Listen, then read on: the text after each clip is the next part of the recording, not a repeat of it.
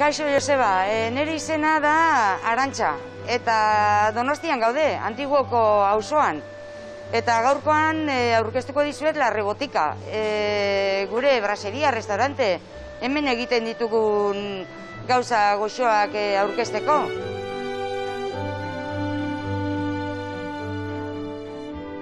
Hau sortu zen 2006an, ekarri nahi gendun kalera o donosti erdia, ba, pixkat parrilla hoiek kanpoa jun ordez, ba, gerturatu egin nahi gendun pixkat. Eta egiten ditugun gauzak, ba, oso onak, aragia kilometro zero, astea zutik ekartze du oso aragi ona, txuletak, tarmugerrezak egiten ditugu aragi horrekin, zeliak ontzako egiten dugu lana baitare, porque bakarrik erabiltzen dugu harto irina, zertifikatua daukagu. Gio baita ere aukera jarri ditugu veganoentzako. Aguakatea labrasa, kristona dago, kon tomatez txerri. Gero baita ere egiten dugu isokia adibidez, isokiak osorik ekartzen ditugu. Eta hemen marinatzen ditugu. Badakagu arrosak adibidez, kristonak arrosak egiten dira brasan baita.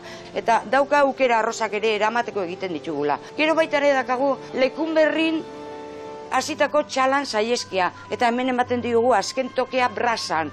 Eta gauza bat e, kuriosidade bezala, dakagu pintxo irabazlea, pintxo hartak deitzen dana, e, 2000 egin zen omenaldia Juamari hartakei. Juamari guztokoan nahi dituenak, zan arrautza eta pipergorria, eta gehitu behar genituen beste bi osagai. Guk apostatu gendun, jake patata egiten dugun brasan, esan gendun, bueno, zergatik ez patatakin, ez da? Eta hori izan zame irabazlea, pintxo irabazlea. Orain, pasako gea, sukaldea, prestatzera pintxo hartak Samuel Sukaldariakin.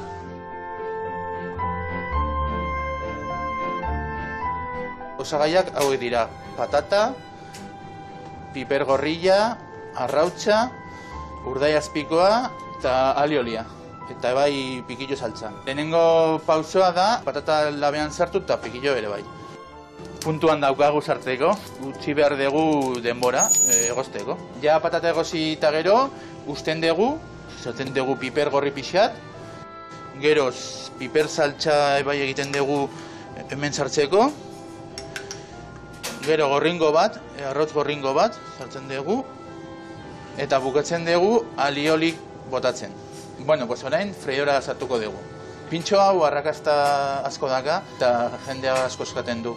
Eta bukatzeko bakarrik, urde azpikoa goitikan bota, eta jada jateko. Bueno, hemen dakagu ja samuk prestatu duigun pintxoa, ze goxoa egongo da, noain irikiko dugu barrutikan, eta mm, jateko bikaina. Bueno, hau da dena, donostitikan antibola rebotikatik, eta Joseba, bueno, para badakizuen nun gauden, eta laizter arte, txin-txin eta nahi arte. Aio! Aio!